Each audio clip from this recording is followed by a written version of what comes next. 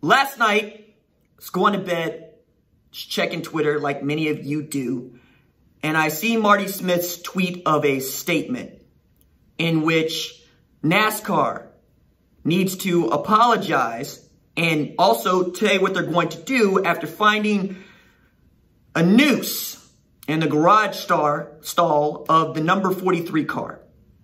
That is Bubba Wallace's car. Bubba Wallace is the only top tier black NASCAR driver on the circuit. This was at Talladega, which was postponed due to rain. It's going to run today. The statement reads, late this afternoon, NASCAR was made aware that a noose was found in the garage stall of the number 43 team. We are angry and outraged and cannot state strongly enough how seriously we take this heinous act. We have launched an immediate investigation and will do everything we can do to identify the person or persons responsible and eliminate them from the sport. As we have stated unequivocally, there is no place for racism in NASCAR, and this act only strengthens our resolve to make the sport open and welcoming to all. Now, last, well, two weeks ago, I was talking about the Confederate flag. I was talking about Bubba Wallace. I was talking about NASCAR taking a stand against racism and what that flag represents to so many. Last Friday, the NCAA and the SEC took it a step further, going, we will not allow competition to be held in the state of Mississippi while the Confederate flag is still a part of the state of Mississippi's flag. I grew up in Mississippi. My grandmother is from Mississippi. Spent the first seven years of my life there in Hattiesburg. And each time that flag has gone up for a vote of removal, the minority people tell me about shows up as a majority in the polls to very much keep it there. I've been asked many times over what is it that white folks can do in the first Black History Month of my life where it feels like we're actually talking about Black history and folks are figuring out how much fun it ain't. And I have said things like protect and love and listen. But I'll take it a step farther. I will take it to Earl Campbell.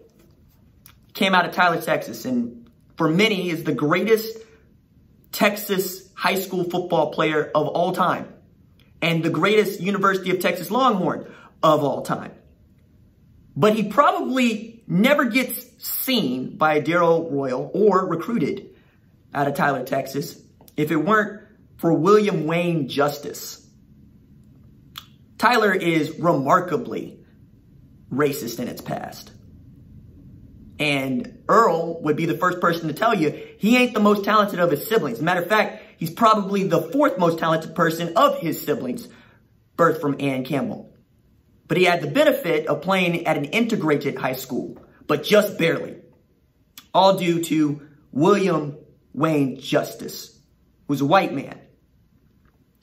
He grew up in the 1920s in Athens, a farming town, five miles west of Tyler, steeped in law learned this reading a biography of all people about Earl Campbell that was written by Asher Price. Now, Wayne Justice's father was politically connected in East Texas. He was an attorney. He was a friend of future Senator Ralph Yarborough and added his son's name to the office stationery when he was just seven because that's what he was going to do when he grew up. Now, William Wayne Justice grew up not unlike many white folks that I know, which is that they have a story in their past about watching the black boy be racistly maligned. And it changes them for good or for better. In Justice's case, it was the mother of a playmate who told her child she couldn't play with any N-words. That stuck with Justice.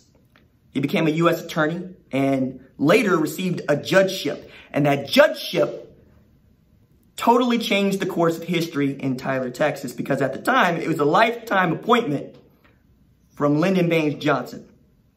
And as Yarborough put it, God dang, when he got to that bench with a lifetime appointment, he turned into a tiger. but some of the cases this man had to rule on are just nonsensical, farcical, and would be funny if they weren't so terrifying. Like, by the time desegregation was becoming a part of this United States in 1954, East Texas was going on like, no, it's 1953 here.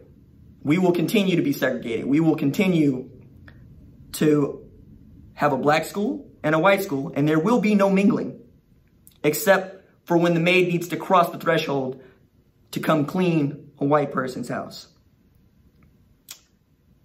Now, he integrated not just the cheerleading squads, but also took it a step further in his championing of black students and them having the rights granted to them by this Constitution. Tyler had a high school called Robert E. Lee High School, named for, yes, the Confederate general. And the school was attended by rich and middle class white kids, and they sported a real Confederate streak. At the school's football games, the marching band wore Confederate uniforms. The drill team was called the Rebelettes, and the football team stormed onto the field beneath a giant Confederate flag as wide as the goalpost. This was a grave concern to many in the black community because it burned them up and it burned their hearts that this place would stand so fiercely behind the Confederacy, a place that seceded from the United States in an act of war to continue to hold black folks as slaves.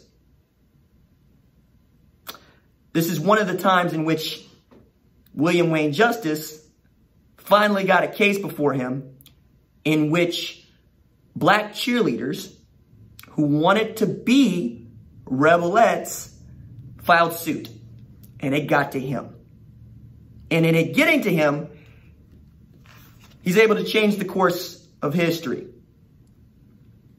By December 1971, citing Justice's order, the school's symbols no longer were meant to discriminate or upset racial harmony, and they had to get rid of the Confederate symbols or lose $800,000 in state funding because that's what it had to take.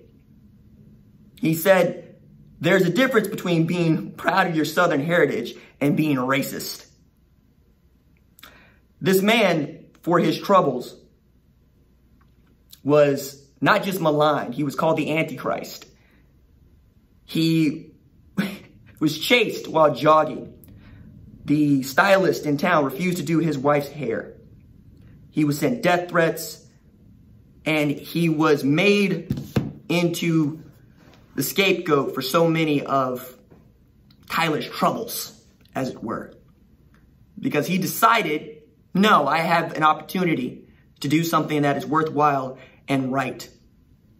And if he hadn't had that opportunity, and if he hadn't done what was worthwhile and right, there is no Earl Campbell to talk about, not in that way. And we know that because of his siblings.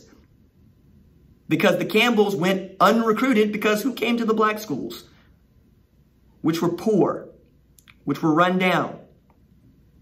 In many ways, integration took away jobs and also took away schools, took away our heritage,